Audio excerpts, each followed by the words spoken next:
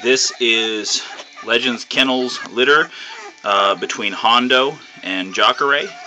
This is a 50% Chinaman, 25% Mayday, and 25% muscle cross. Um, this is our first litter like this, um, our Legends Cross. Uh, basically a breeding between four of the best males and females I have between the Mayday, Frisco, and Muscle Blood, um, taking their offspring and breeding them together, uh, and those were the pick of the litter. Hondo is a 50-50 Mayday Frisco cross off of River and Memphis, and Jacare is a 50-50 Frisco muscle cross off of Rhino and Ming. We have one female. This is the little female right here. Only about three weeks old right now. And the rest are all males. There are some black or almost seal colored pups.